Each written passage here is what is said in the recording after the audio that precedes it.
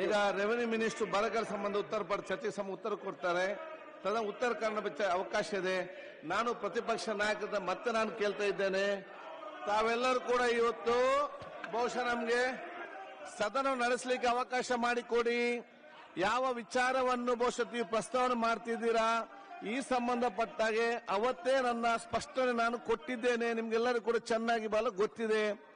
ಅದನ್ನು ಕೂಡ ನಾನು ಸರಿ ಅಂತ ಹೇಳಲಿಕ್ಕೆ ಹೋಗ್ಲಿಲ್ಲ. ನೀವು ಇಲ್ಲಿ ಮಾಡ್ದನ್ನು ಕೂಡ ನಾವು ಸರಿ ಅಂತ ಹೇಳಲಿಕ್ಕೆ ನಾನು ಸಂವಿಧಾನ ಮುಖ್ಯವೋ?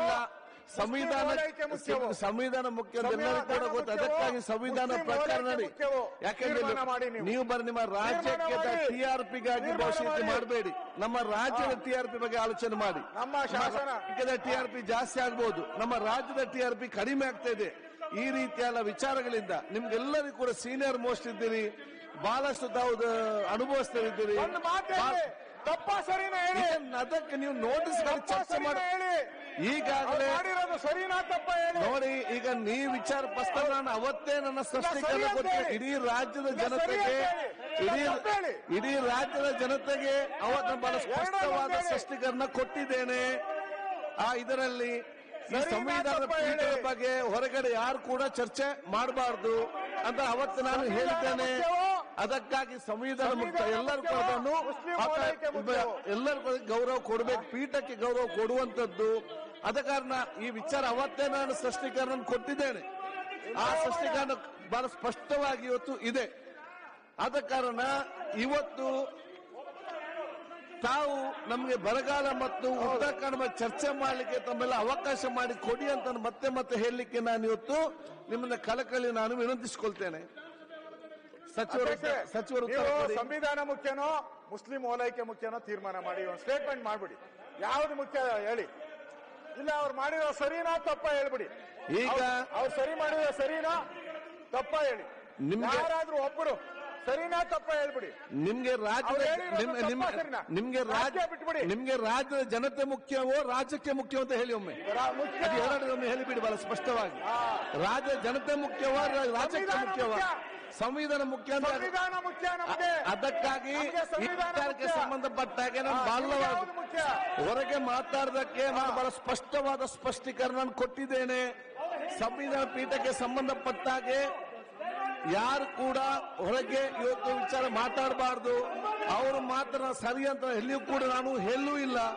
ನೀವು ಮಾಡಿದ್ರೆ ಈ ರೀತಿ ಮಾಡಿದ್ರು ಸರಿ ಅಂತ ಹೇಳುವುದಿಲ್ಲ. ಅದಕ್ಕಾಗಿ ಆ ಒಂದು ಸಂದರ್ಭಕ್ಕೆ ಅವ್ರು ವಿಚಾರಗಳನ್ನು ಹೇಳಿದ್ದಾರೆ. ನೀವು ನೀವು ನನ್ನ ಸ್ಪಷ್ಟ ನೋಡಿ ನನ್ನ. ಸ್ಪಷ್ಟೀಕರಣ ಬಹಳ ಸ್ಪಷ್ಟವಾಗಿ ನಾನು ಮೊನ್ನೆ ಹೇಳಿದೆ ನಾನು. ಸಂವಿಧಾನ ಎತ್ತಿ ಹಿಡಿದಿದ್ದಾರೆ. ನನ್ನ ಸ್ಪಷ್ಟ ನನ್ನ ಸ್ಪಷ್ಟೀಕರಣ ಬಹಳ ಕರೆಕ್ಟ್ ಆಗಿ ಹೇಳಿದ್ದೇನೆ. ನೀವು ಸಂವಿಧಾನ ನೋಟಿಸ್ ಜಾರಿ ಮಾಡಿ ನೋಟಿಸ್ ಕೊಡಿ ಚರ್ಚೆ ಮಾಡಿ ಅದನ್ನು ಚರ್ಚೆ ಅವರ ವಿಚಾರ ಹೇಳಿ ಮತ್ತೆ ವಿಚಾರ ಬರುವಂತದ್ದು. ಆದ ಕಾರಣ ನೀವು ನೋಟಿಸ್ ಇಲ್ಲ ಏನಿಲ್ಲ ಪ್ರಶ್ನೆ ನಡೆಯುವಾಗ ಇಲ್ಲಿ ಎದ್ದು ನಿಂತೀರಿ ಮಾತಾಡ ಏನಾಗ್ತದೆ. ಆದ ಕಾರಣ ಬರೀ ರಾಜ್ಯಕ್ಕೆಗೋಸ್ಕರ ಇದೆಲ್ಲ ಮಾಡೋದು ಬೇಡ. ರಾಜ್ಯ ಸಂವಿಧಾನಬದ್ಧವಾಗಿ ಇವತ್ತು ಸಂವಿಧಾನಬದ್ಧವಾಗಿ ಸಂಸದಿನ ಅನುಗುಣವಾಗಿ ತಮ್ಮ ಚರ್ಚೆ ತಾವು ಮಾಡಿ. ನನ್ನ ಸ್ಪಷ್ಟೀಕರಣ ಬಹಳ ಸ್ಪಷ್ಟ ಸ್ಪಷ್ಟೀಕರಣ ಹೇಳಿದ್ದೇನೆ. ಮಂತ್ರಿಗಳು ಉತ್ತರ ಕೊಡಿ. ನಿಮ್ ಕಾರ್ಟೂನು ನಿಮ್ ಕಾರ್ಟೂನ್ ಮಾಡಿದ್ದಾರೆ ನೋಡಿ. ಮಂತ್ರಿಗಳು ಉತ್ತರ ಕೊಡಿ. ಕಾರ್ಟೂನ್ ಮಾಡಿದ್ದಾರೆ ನೋಡಿ.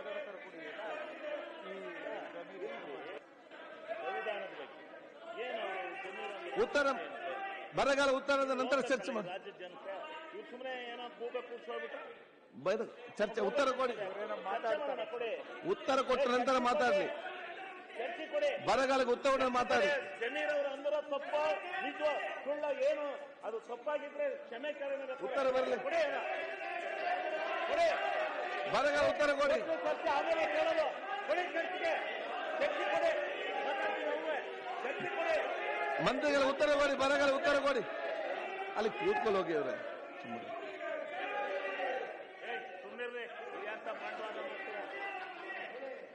ಚರ್ಚೆಗೆ ಬನ್ರಿ ಮಾಡ್ರಿ ಮಾಡ್ಯಾರ ಚರ್ಚೆ ಅವರು ತಪ್ಪಾಗಿದ್ರೆ ಅದೇನು ಆಮೇಲೆ ನೋಡೋಣಂತೆ? ಚರ್ಚೆ ಮಾಡೋಣ. ಸುಮ್ಮನೆ ಮಗು ಮಿಟ್ಕೊಂಡು ಬಂದ್ಬಿಟ್ಟು ಇಲ್ಲಿ ಸದನ ಹಾಳು ಮಾಡ್ತೀರೇನ್ರಿ? ಮಾನ್ಯ ಅಧ್ಯಕ್ಷರೇ